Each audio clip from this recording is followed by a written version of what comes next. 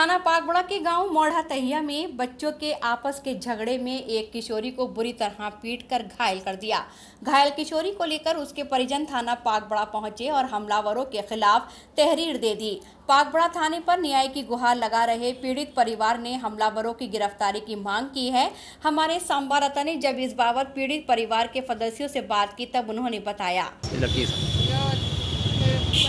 लगी लड़ाई में किस किस बात को लेकर मारपीट हुई थी? ऐसी बाल को बाल को में हो गई। कब की बात है ये? अब की है। अब थाने पहुँचे आप थाने में क्या कहा आपसे? लिखवा दिया जो लिखवाना क्या चाहती हैं आप? साथ बच्चों बच्चों में झगड़ा हुआ। उसमें बच्चों बच्चों के चक्कर में इन्होंने लड़की के साथ मारपीट करी। दीपक ने गौरव ने सौरभ ने उसके बाप ने। अच्छा तहरीर दे दी थाने में आपने? थाने में तहरीर दे दी? हाँ, दी है। क्या बोला है आपसे इन्होंने? वहाँ से जो है आपकी कार्रवाई की गई है आप घर जाएँ आपके घर शाम को पुलिस आप क्या चाहते हो? हम सब आपको कार्रवाई चाहते हैं।